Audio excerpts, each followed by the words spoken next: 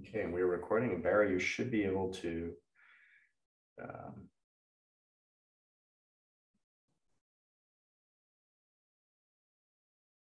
are you able to open your video? no. You.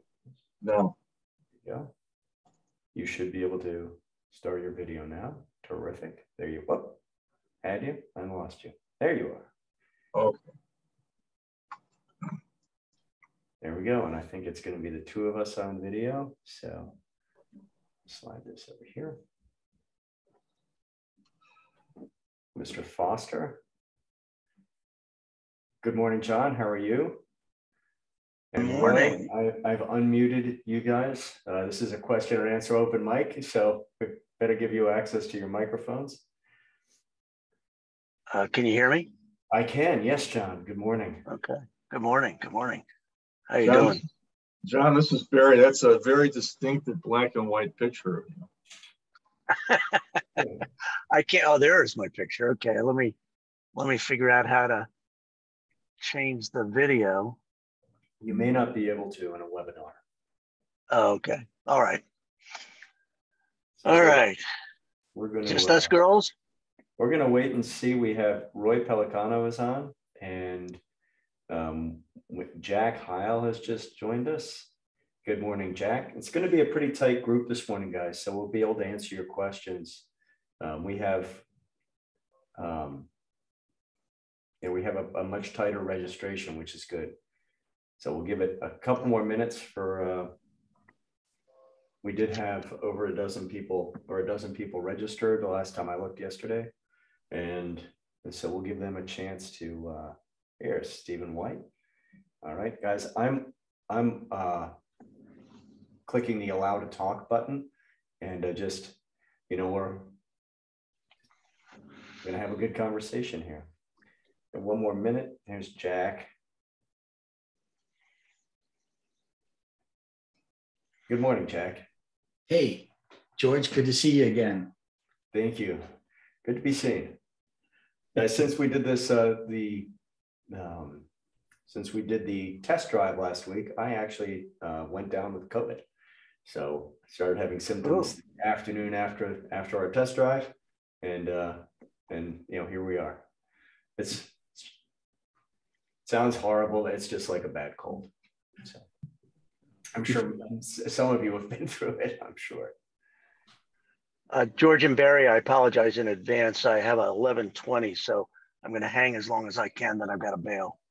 Okay. Well, we're going to uh, we're going to go ahead and uh, here's Ray McKenzie. Hey, good morning, Ray. How are you? All right. Good morning, George. How are you doing? Long time no talk. Yeah, I know it's been a long time. It's good to good to have you. Thanks for joining us. Definitely. Thank, Thank you for inviting. So, guys, with uh, with webinars, you typically get somewhere between half and uh, two thirds of the attendees. Uh, Ed Wonky has joined us um, of the registrants. We had 12 registrants for this Q&A. We had a, a, heck of a lot more for the, the test drive. We had great attendance. So what we're going to do is uh, go ahead and start. Uh, I'm going to minimize the attendees. I'll keep an eye on it. Sarah, if you could keep an eye on it also. Um, and if you're able to give people, uh, unmute people in the, uh, so guys, this is an open mic. It's your opportunity to ask us questions about business advisor peer groups, um, what, why, how, and uh, questions that came out of the test drive. Some of you were not able to join us for the test drive, which is great.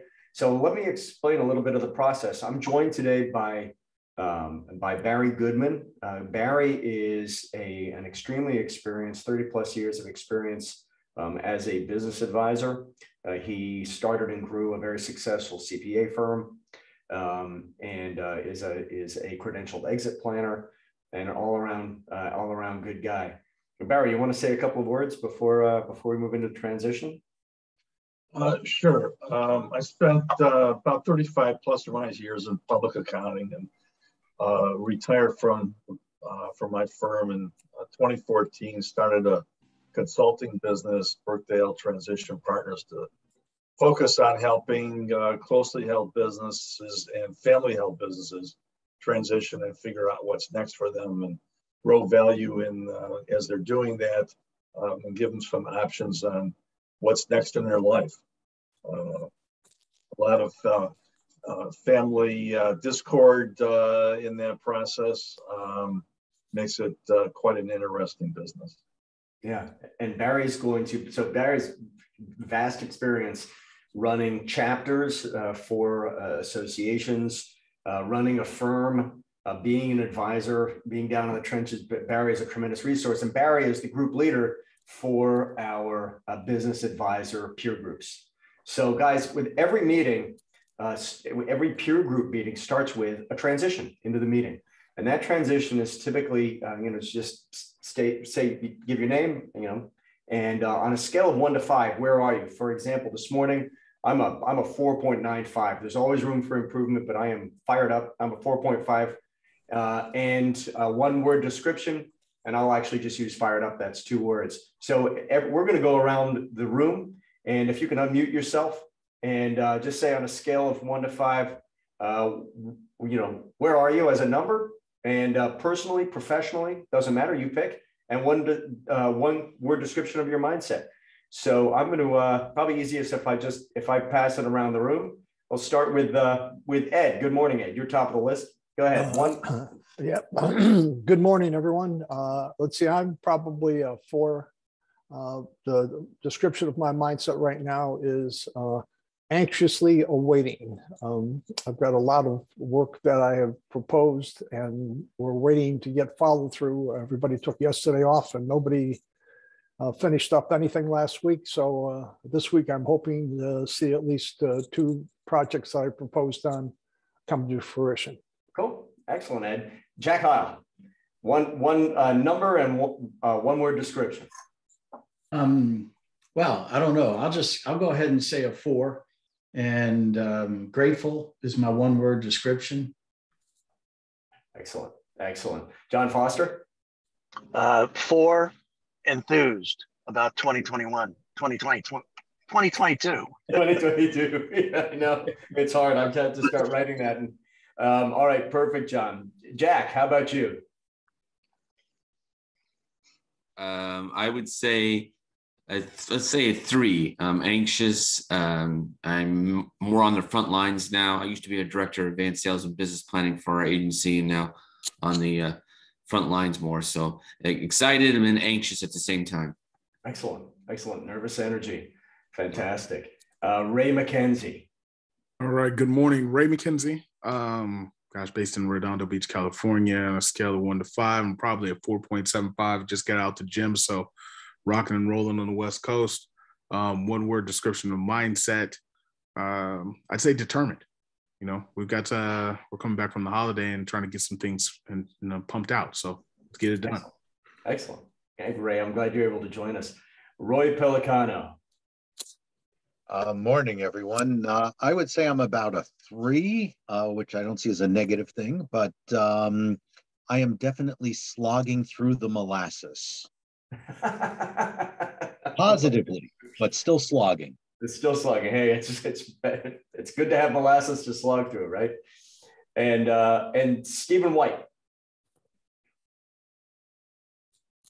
I can hit the mute button quick enough. Um, I am a four, and the word is focus.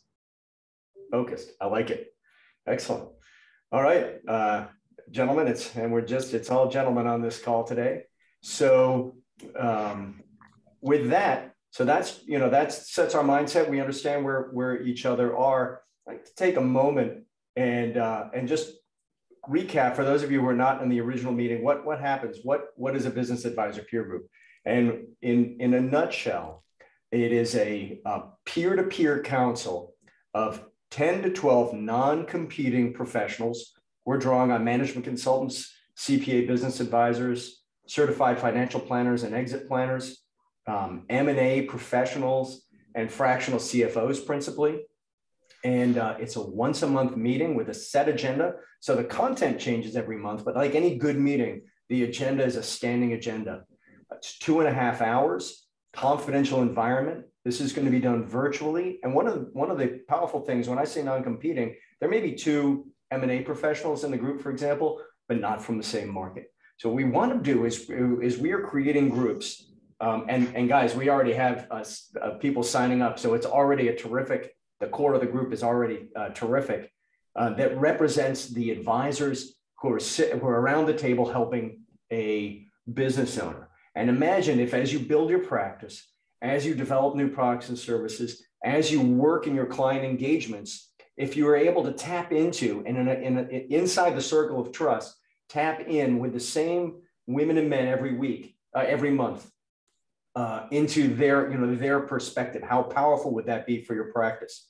And uh, these are going to be facilitated by Barry Goodman, as we said, and it's it's all of it's completely confidential under NDA, and it has a uh, it's a, a, very an excellent value. It's three hundred and seventy five dollars a month with hundred percent satisfaction guarantee. Meaning, if after your first meeting you say, actually this isn't for me, uh, we'll part friends.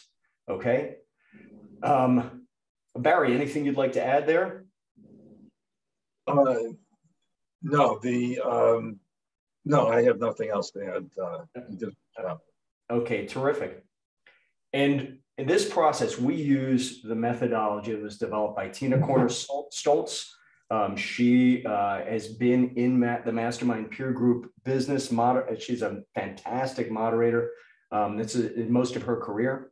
And uh, she, that's the LX Council, Leadership Exchange Council is the name of her company. We license their methodology, um, and it's built around the COPE. And a COPE is a challenge, an opportunity, a problem, or an idea uh, on, on with which you would like some help, feedback from the group. Okay, so every meeting you will have the opportunity to present your own COPE. Um, it can be a, a struggle, an opportunity, something to celebrate, and be able to help your uh, your peers with their uh, with their COPE, with their challenge, opportunity, problem, or idea. It's incredibly powerful, guys. I'm in a group. Um, I know a couple of you on the call are, are, are, uh, are in groups. It is my, the light bulb went off in my, I think my second meeting. I, I it, it's incredibly helpful uh, to, to me as I run these two businesses. And I, and we're offering these, we we've decided to, to add this service because you guys have been asking for it. Okay. So it's a question and answer format. So we make sure we drill down to the real issue. Sometimes the, the issue that we, you know, that we first identify isn't the actual issue. Drill down to get to the real issue with questions and then present ideas, suggestions. Um, and there's accountability in the group for yourself, to the group, um, and of the group to you. So with that summary, um, if anybody, we're gonna we're gonna jump in. We'll open up the mic. So, yeah, I have a question, George. Please, John. This is John, and it's for Barry. Um, Barry, thanks for taking the lead on on this with George uh, involvement. Um, what is your vision for this group?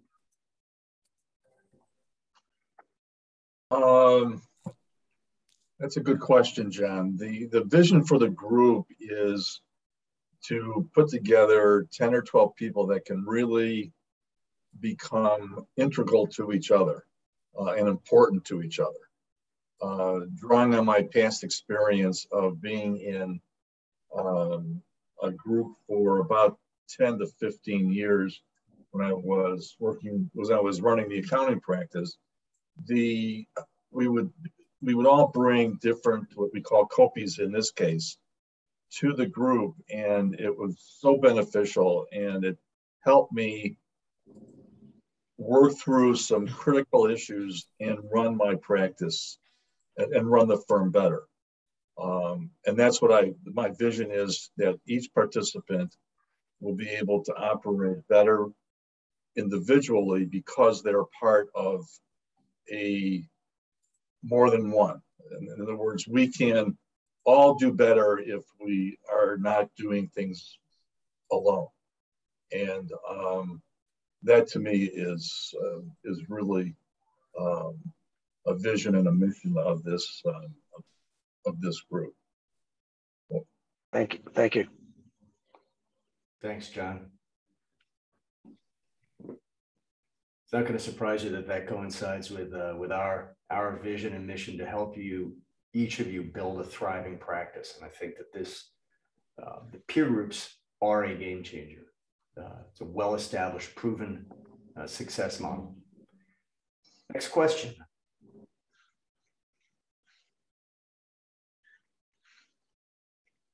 What is the, uh, George, what is the exit? Let's say you like it for four months, but then it's not doing what you want it to do, or you've been distracted elsewhere. What's the exit uh, obligation?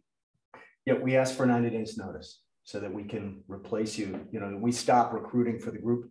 Um, so we ask for 90 days uh, notice. Right, right. Okay, thank you. Certainly. Thanks, Jack. Jack, if I can also respond to your question, you know, if if let's say after the uh, at the end of four months, you find that it's not for you, you know, before then, I would hope that we would have some discussion to see if there's some things that are missing, uh, some things that are not going in the direction that you anticipated, because perhaps you have some better ideas or some ideas that can make the the group better. Um, because it's critical that we have that open communication uh, to always do better. Yeah, absolutely. Yeah, yeah. You know, uh, for me, it's um, I'm always impressed with the firepower that George and everyone brings to the table, and I always feel like I'm less than.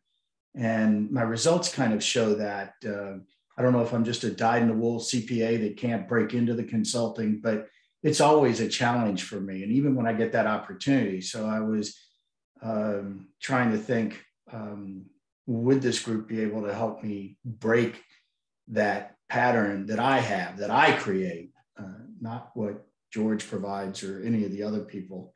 So I don't know if that helps you understand where I'm coming from. Well, it, Jack, it does, and uh, to that extent, I've I, I experienced that myself. Um, so, uh, not to toot my own horn, there, there is some um, some background that um, that you have in these groups, and this is not the first time um, in putting the group together that I've ex- we've experienced that question um, because it is um, it is sometimes a paradigm shift, and to have that support uh, for any for any change, um, I have found in my career that that's that, that support is critical. Um, and um, we can discuss that further if you'd like. Sure. Thank you. Thanks, Jack. Next question. With the two and a half hour um, plan for conversation, is there any semblance of giving something to the time of the day uh, that that might be planned for. All of the one person on the West Coast, uh, he just finished his exercise. Um, he probably won't be able to come prepared well to engage adequately in, in a discussion. Uh, I'm concerned what time of the day would we primarily want to run these um, meetings? Well, the advantage of the of the first group of, of, the uh, of the first attending the first meeting, which is next week, um, we will, as a group, will decide what time of the day and what day of the week is is appropriate for all the people in the group, um, because we want to be able to accommodate everybody, and we want to be able to have good participation. So, because uh, one of the um, caveats is that you need to come, you need to be able to attend meetings because you get out of this whatever you put into it, like anything else. So we'll be able to decide as a group what time of day and what day of the week uh, would be most appropriate. Because there are, you know, we, we, realize we're doing this virtual, and there are those time uh, those time differences. Yeah, absolutely. Hey, I, I have, uh, you know, guys, the, the, it is virtual, but we are we are looking at, and it's something we'd like to discuss, you know, also with the group, is getting together face to face. In there are two conferences every year that that Core Value and Growth Drive host, um, on joint conferences, and being able to get together face to face and having a face to face meeting um, at one of those conferences, which doesn't obligate you to come to the conference, but if you wanted a face to face opportunity, um, a couple of times a year. That, that's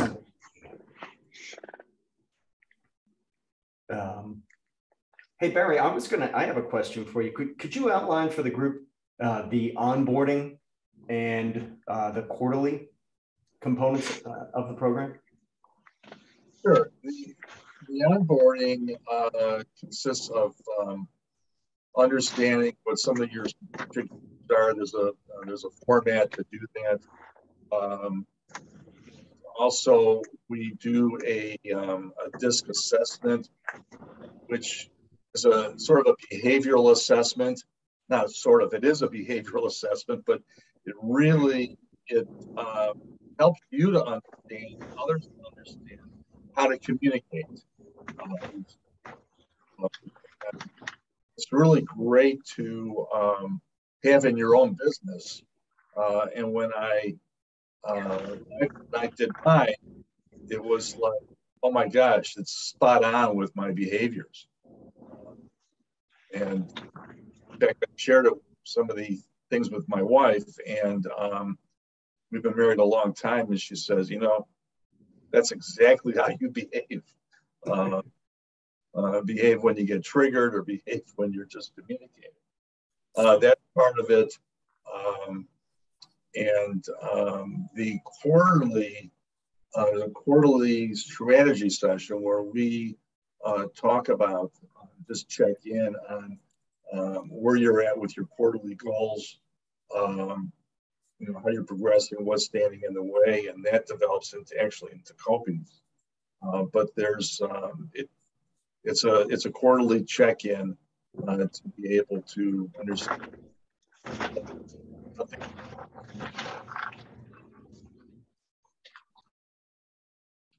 Terrific.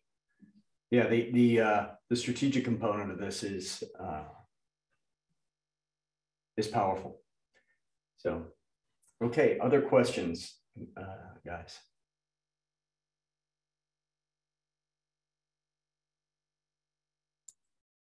Well, I have a question for everybody. You know, everybody on the on the call is, you know, what would what would your expectation be from from a uh, from a peer group based on what you know today?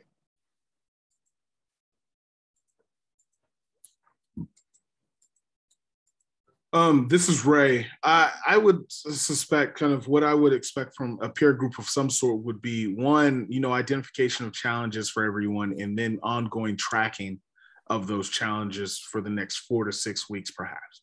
So that at the end of maybe four, six, eight weeks and the meetings that are ensuing, um, you have some sort of goal management, um, performance management um, you know, check-ins with where people are performing or how things are going with their challenges, or are is it beneficial, um, or do things need to change?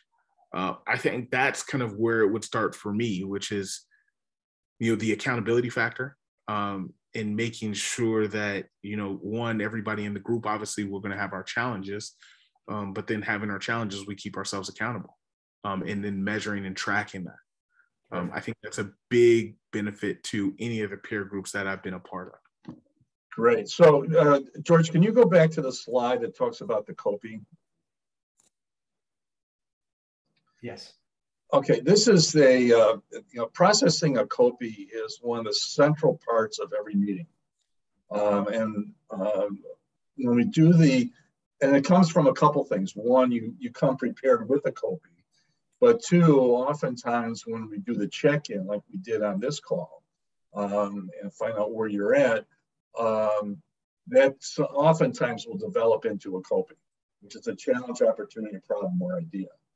And Ray, to answer your question, after the after the copy is presented, and after you know, we're describing the situation, you know why it's important and so forth, and getting questions. Um, at following meetings, because we meet once a month, at every meeting, we'll ask for updates of the um, of how that individual did, how that member did, with um, with the feedback that they received, and um, when the and if they didn't do anything, well, they're challenged as to why, and if they did something, you know, what was the result, and um, uh, so that we can keep people accountable uh, for following through on what their challenges, opportunities, problems, or ideas are. Yeah, you're accountable to the group because everyone's investing time. Right. Um, because we're investing time within the meeting and others may have COPEs. Uh, so we really try to uh, uh, keep people accountable. And what's interesting is relatively quickly on that accountability and, and uh, you, you'll find yourself reaching out outside of the formal meeting. You know ray you and i might you know you i might contact you and say hey i've been thinking about that that uh, challenge you have. Um, have you considered? And we might do you know you end up very quickly sidebarring with members of the group. And uh and it's and then you know coming back and and uh, and bringing it back into the, the plenary session um, at the following meeting and it also doesn't mean that we're not in communication in between meetings you can always pick up the phone and call a member and um, and get some feedback at that point in time. So. Yeah, absolutely. Great question, Ray. Uh, you know, uh, Barry, I, uh, answering your question, I just wrote down a few thoughts myself. I would love to improve as a consultant. I'd like to gain access to expertise, and I'd also like to fine tune my processes uh, in my practice. And so those would be the kind of things that, if I felt there was a possible assist towards that that would interest me in, in moving forward. Well, and you'll receive that again, uh, Jack, from the COPE uh, process. Um, you know, and that becomes important because they'll ask you questions, they'll come back with suggestions, um, and uh, so that, so yes, that will uh, those items you mentioned will be addressed, um, but it'll be addressed through the COPE process. And if there's additional conversations that need to take place, well, they can also take place. Absolutely. Jack, you just hit the nail on the head. That's exactly what what you will the benefit you will get from participating in the group. You know, it's interesting in talking to several people um, about potentially joining uh, the group. In fact, two uh, two people have signed up. Um, they, for example, want, were thinking about marketing and you know will this will the group talk about marketing i said you can talk about anything you want you know if marketing is your challenge then put it in as a COPE and let's hear from 11 other pros what they're doing to generate you know to, to increase their the strength of their brand to bring in new engagements to collaborate um, with their centers of influence with other people in the group et cetera uh, to to, uh, to to help win new engagements and uh, you know the, the sky's the limit on what can be what can be discussed, tackled, um, and collectively worked into uh, into solutions. Right. Thank you. Sure. Great question. About five minutes remaining. Any any other questions, guys?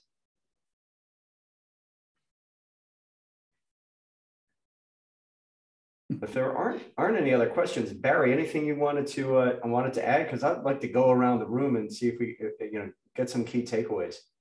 No, I think the uh, we had some good interaction, and they were spot on with the purpose and the goals and objectives and vision of um, of what we're doing. Yeah, absolutely. Um, oh, Anna Haliberta has joined us. Hi, Anna. I just I just uh, opened your microphone. Good afternoon or good morning, George. How are you? I'm doing great, thank you. Um, you haven't had an opportunity to, uh, I'm thrilled that you're here. Um, uh, you haven't had an opportunity to ask any questions. I do apologize for my tardiness here, George. Uh, it seems uh, this is the earliest I've been late all day, but I'm still too late with five minutes left. I do apologize. No problem you have any questions about business advisor peer groups, um, how they're structured, how they can help you? Uh, you know, the one thing I will say, George, is that I was part of uh, a peer group uh, several years ago for specifically CPAs. And uh, let's say the, the monthly fee cost was uh, substantially greater than uh, what you are charging for here, but it was, they talked about many of the same things that you've talked about. So this is a wonderful opportunity for, for people who uh, aren't in a mastermind group, haven't been in a mastermind group. So the peer group to me is kind of like a mastermind group of forward thinkers and people that want to move their businesses, their practices along in the direction that they want it to go. Uh, and with all of the uh, tools that core value has, if they do it on themselves, they'll see oftentimes uh, what they need a bit of shoring up on. And so, so I think this is right time, right place, uh, right thing to do. Yeah, fantastic, Anna. Yeah, Anna. yes. Um, I won't recap what you just said. You just said it very well. Thank you. Uh, so for those of you who don't know Anna, she's a she's a good friend, as many of you are, and uh, is a CPA, is a growth advisor, uh, is a uh, is an exit planner, and does a lot of uh, has actually has a business called Be Ready. Um, yeah, Anna, I, I, I value your input. Thank you.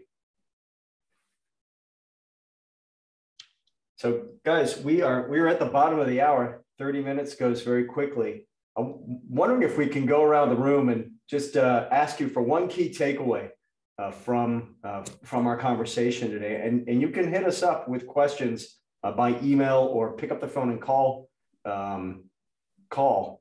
And, and we're happy to help because the next step would be to schedule an interview um, to get to know Barry a bit more and for Barry to get to know about you, make sure there's a good fit and that this is going to be something we really want people to join the group and we're committed to, to finding people uh, to, uh, to bring into the group who are in it for the long, the long haul and where there's going to be a very good fit. Okay. So the best way to do that is to have a, a candid interview. Um, we'll schedule that with Barry, confirm synergies between you, you Barry, and the group, and, uh, and then decide on a best path forward for you. So um, here's the contact information. I think you all know how to get hold of us. Uh, I'd love to go around and just take, you know, if you just have one sentence uh, key takeaway. I know Anna, you just joined, but you're top of my list. You have, uh, you have one one key takeaway from today? When there is an opportunity and you decide not to take it, then you're deciding on doing the same things that you've been doing, and you're not going to move forward. Yeah, I couldn't agree with you more. Uh, thank you, uh, Ed. And by the way, guys, every meeting closes with one key takeaway. Um, has is that's a component of the of the uh, of winding up the meeting. Ed, one key takeaway. Uh, you know, as a standalone practitioner, um, probably it's an opportunity to put a little bit more organization uh, to my activities as opposed to being driven solely by personal motivation. Terrific. Uh, Jack High. Um, collaboration and insight. Um, I think it's an interesting and intriguing um, offering that I'm I um, would like to explore further. Okay, excellent. Thanks, Jack. Um, Ray McKenzie. All right, I'd say uh, different perspectives through experience can be extremely helpful for growth. Um, yeah, that's kind of it. Yeah, terrific. Thanks, Ray. And 303, is that you, Anna, or is that a different dial in? No, the uh, 303 is one of mine, but I think that's a separate dial in. Okay. Great. Well, uh, then then that's uh, then we've been around the horn here. I know people had to drop off at the bottom of the hour. So with that, guys, uh, I'll contact. Uh, we'll be contacting each of you, and uh, and uh, I'm looking forward to next steps. So thank you very much. And with that, uh, Barry, any closing thoughts? No, I think we're in good shape, George. You're muted. We heard, we heard them. Oh, okay. All right, guys. Well, I'm going to wrap up the meeting. Thank you very much. And uh, we will circle around with each of you. Have a Thank great you. day. Bye. Thank Great, you. Thanks. Bye, Ed. Bye, Bye Anna.